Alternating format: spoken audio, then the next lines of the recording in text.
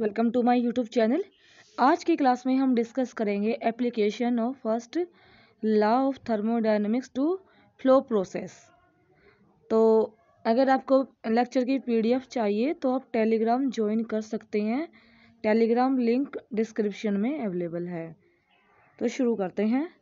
The process which permits the transfer of mass या working substance to and from the system is known as flow process flow process कौन सी process होती हैं?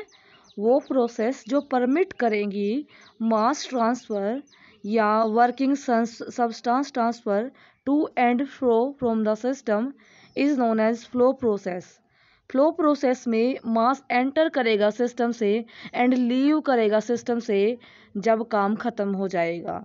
यानी कि work done होने के बाद में लीव कर जाएगा मास सिस्टम से बाहर। Flow process mainly two types की होती हैं steady flow process and unsteady process practice engineering practice में हम मेनली कंसीडर करते हैं स्टडी फ्लो प्रोसेस तो स्टडी फ्लो प्रोसेस इक्वेशन हम आज डिस्कस करेंगे।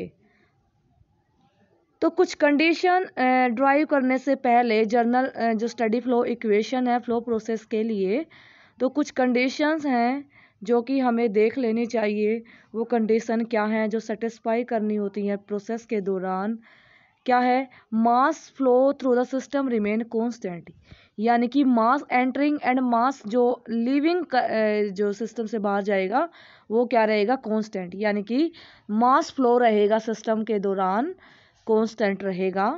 The state of fluid at any point in a system is constant at all time fluid जो भी एंटर करेगा, जो भी हमारा वर्किंग सब्सटेंस है, उसकी स्टेट जो रहेगी सिस्टम लीव करते टाइम या सिस्टम के दौरान रहेगी, वो सेम रहेगी। यानी कि स्टेट ऑफ़ द सिस्टम अगर वो लिक्विड है तो लिक्विड रहेगा गैस है तो गैस रहेगा।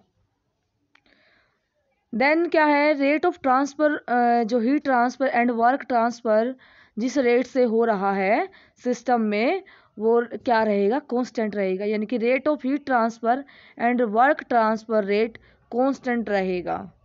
Then rate of energy transfer at the boundary is constant and energy content by the fluid at any point remain constant यानी कि किस रेट से एनर्जी ट्रांसफ़र करेगा बाउंड्री से, वो कांस्टेंट रहेगा।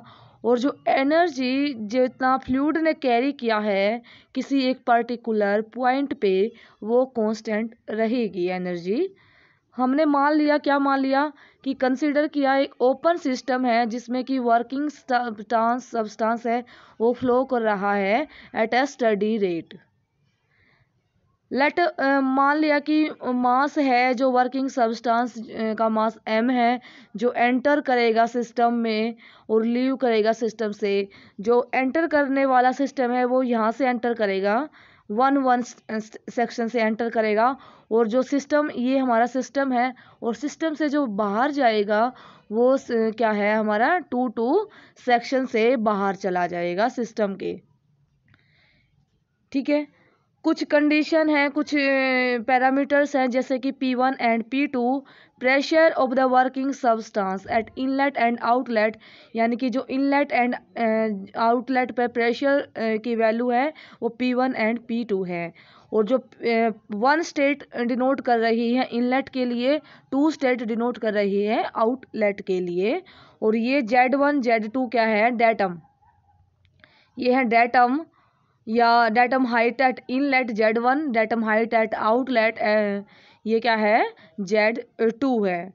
Then C one and C two velocity of the working substance at inlet and outlet C one at inlet जो रहेगी सी वन इनलेट पे वेलोसिटी है वर्किंग सब्सटेंस की और सी टू आउटलेट पे वर्किंग सब्सटेंस की वेलोसिटी है। Then Q is the heat supply to the system and W is the work delivered by the system then V one V two is the volume of working substance entering and leaving the system U one and U two internal energy of the working substance and at inlet and outlet तो ये कुछ parameters हैं जो कि हमें देखने हैं steady flow energy equation derivation के दौरान। तो माल या मास एम मास है वर्किंग सब्सटेंस का जो कि फ्लो कर रहा है। और हमें पता है एनर्जी जो एंटर कर रही है सिस्टम पे, यानी कि एनर्जी जब सिस्टम पे एंटर कर रही है तो उसके पास में कौन कौन सी एनर्जीज होंगी? Internal energy plus kinetic energy plus potential energy plus flow energy plus heat जितना सप्लाइड करेगा वो सिस्टम में। तो इतनी सारी एनर्जी एंटरिंग के दौरान होंगी। जो हमारा सिस्टम है और इसी तरीके से जब लीव करेगा, उसके पास में भी internal energy kinetic energy potential energy flow energy and जो वर्क जो सिस्टम के द्वारा मिलेगा, ये एनर्जीज अवेलेबल होंगी। तो इसको हम मैथमेटिकल टर्म में हम लिख सकते हैं। कैसे लिख सकते हैं? जो इंटरनल एनर्जी को यू से डिनोट किया तो internal energy at inlet U one and kinetic energy क्या होती है? हाफ़ एम वी स्क्वेयर होती है। तो एम जो वेलोसिटी को सी वन से डिनोट किया है इनलेट तो half M C one square आ जाएगा। और पोटेंशियल एनर्जी होती है ड्यू टू दी ग्रेविटी तो ये क्या हो जाएगी M G one M M Z one into G ये एक्सलेशन ड्यू टू ग्रेविटी और ये मास ऑफ़ द सबस्टांस और जेड क्या है? डेटम की हाइट है एट इनलेट पे। और ये फ्लो एनर्जी को डिनोट करते हैं पी वी से तो एट इनलेट पे क्या आ जाएगी? P one V one and heat supplied the system ये आ जाएगी क्यू तो जो टोटल एनर्जी आ, आएगी सिस्टम की एट इनलेट ये आ जाएगी। सिमिलरली आउटलेट पे हम इसको लिख सकते लिख लेंगे। यानी कि U two M C plus M C two square divided by two M Z two G plus P two V two plus W और जो अजम्पन क्या है जो हमने माना है कि जो एनर्जी एंटर करेगा और लीव करेगा सिस्टम से, वो कांस्टेंट रहेगा, वो इक्वल रहेगा तो इन दोनों को हम इक्वेट कर देंगे। ठीक है? तो इन दोनों को हमने इक्वेट कर दिया energy at entering and energy at outlet हमने इक्वेट कर दिया। ठीक है? तो और एक कंडीशन क्या है कि जो एंथैल्पी है वर्किंग सब्सटेंस की, यानी कि एच एंथैल्पी क्या होता है? Internal energy plus flow work होता है। तो इंटर एंथैल्पी एट जो वर्किंग सब्सटेंस की जो एंटर कर रहा है, उस दौरान क्या हो जाएगी? U one plus P one V one similarly enthalpy of working substance जब लीव करेगा, जब क्या होगी?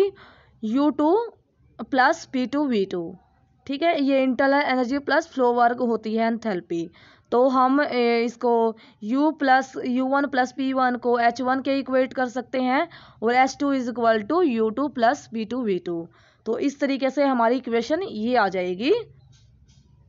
और ये क्या है? Steady flow energy equation this is the steady flow energy equation और mass flow rate continuity equation के द्वारा हम क्या निकालेंगे? मास फ्लो रेट क्या होता है? ये जो रहेगा, मास फ्लो रेट क्या हो जाएगा? A one V one divided by V one at section one is equal to A two V two divided by V two ठीक है? और वी क्या है? Specific volume specific volume of the working substance ये था discussion I think आपको helpful लगा होगा।